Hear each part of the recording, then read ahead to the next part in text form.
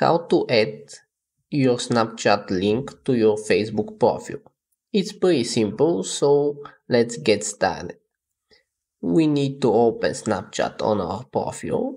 Here we need to copy the username. In my case, this is Mario Christ 2022. If you want to copy it, not, not remember and type it, just tap on the circle at the top right, then username. Here you can change it if you want or just copy.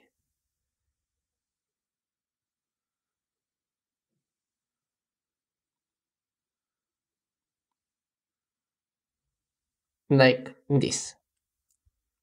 Now open Facebook, tap on our profile picture, then enter profile, scroll down, now edit public details.